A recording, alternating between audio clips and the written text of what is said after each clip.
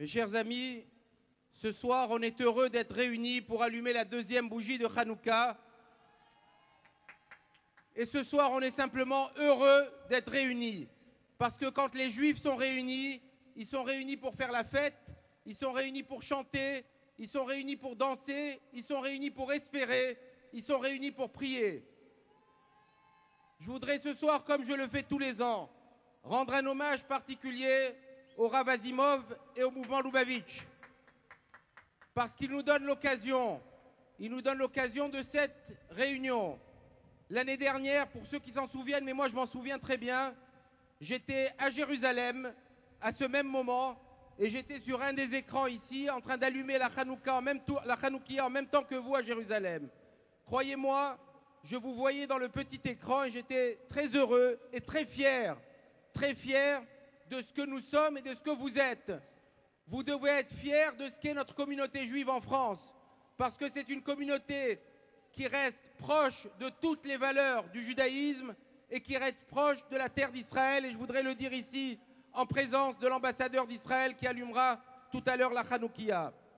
Mes chers amis, nous venons de vivre une année particulièrement difficile parce que l'antisémitisme est venu nous tuer nos enfants ici en France. Et je l'ai dit et répété, c'est la même haine des Juifs qui est venue tuer nos enfants ici en France. C'est la même haine qui veut empêcher l'État juif d'exister. Mais quand nous nous réunissons, c'est jamais pour donner un message de haine. Quand nous nous réunissons, c'est toujours pour donner un message d'amour et un message d'espoir. Mais dans cette même année, dans ces mêmes années, certains veulent nous empêcher de continuer à avoir notre identité.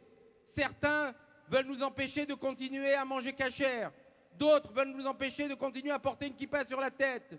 D'autres voudraient nous empêcher de circoncire nos enfants. Ça ne vous rappelle rien?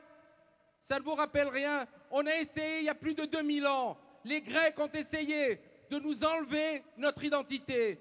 2000 ans après, vous êtes là, nous sommes là, l'État d'Israël existe, Jérusalem est entre nos mains et aujourd'hui, nous sommes fiers, fiers et nous continuerons à être fiers de porter notre kippa sur la tête, de circoncire nos enfants, de manger cachère, d'étudier la Torah et d'être des juifs, fiers d'être juifs, parce que lorsque nous sommes dans la rue, lorsque nous sommes dans la rue, c'est jamais pour hurler, c'est jamais pour haïr, c'est pour aimer et redire notre amour des autres, notre amour de tous, notre amour du peuple juif, notre amour de notre société, notre amour du peuple d'Israël, notre amour de la terre d'Israël et notre amour de Jérusalem. Alors continuez à être ce que vous êtes. Personne ne nous empêchera jamais d'être juifs.